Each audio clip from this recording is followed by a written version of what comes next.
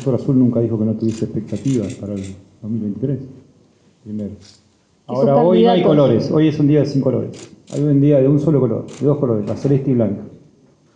Y esto es más juntos, unidos y unidas que nunca. Yo el 24 de octubre y el 14 de noviembre voy a votar al Movimiento Popular Latino. Hoy estamos aquí principalmente para agradecer y reconocer el tremendo trabajo que llevó adelante la dirigencia del Movimiento Popular Neuquino y cada ciudadano que confió en el Movimiento Popular Neuquino para seguir defendiendo los intereses de la provincia y de las familias que habitan la provincia de Neuquén a lo largo y ancho de todo nuestro recorrido provincial. Hasta hace muy pocas semanas nos daban por derrotados y el Movimiento Popular Neuquino es una de las únicas dos jurisdicciones que ganaron un proyecto provincial que mantiene y sustenta el poder regional. Hoy también es un día en el cual damos vuelta a la página y encaramos el desafío de volver a empezar a trabajar para contar los votos. Esta es una elección distinta. Acá no hay derechos adquiridos de quien nos votó y de quienes no nos votaron.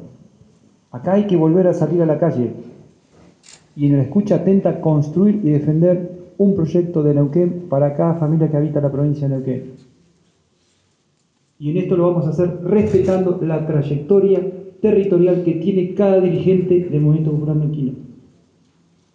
Y esto es lo que hemos hablado en reunión previa.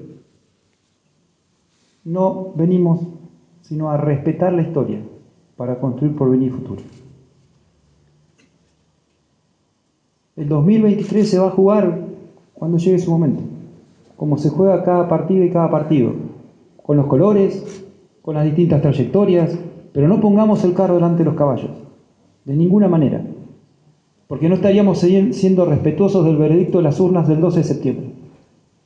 Las urnas ya se han expresado el 12 de septiembre, y, cada hombre, y para cada hombre y cada mujer del Movimiento Popular Neuquino, afiliado o independiente que elige este motor para defender el porvenir y el futuro de la provincia de Neuquén, tenemos que honrarlo redoblando el esfuerzo y transpirando la camiseta.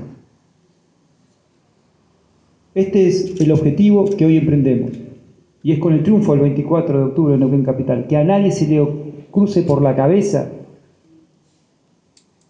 que un voto menos el 24 de octubre fortalece, sino que va a debilitar nuestras aspiraciones del 14 de noviembre. Quedó atrás el 12 de septiembre. Un 12 de septiembre que como originalmente el MAPO planteó en aquella oportunidad original de su creación, las diferencias internas se concilian en los procesos de participación. Por eso le dije no al acuerdo de cúpula y a las notas que recibió la Junta del partido.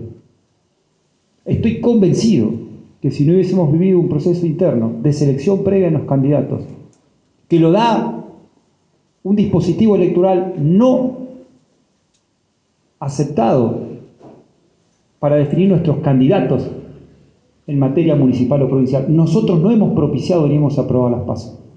Sin embargo, nosotros nos sometimos y participamos en un proceso abierto porque el Movimiento Popular Neuquino nunca elige sus candidatos a dedo, siempre lo hace con procesos participativos.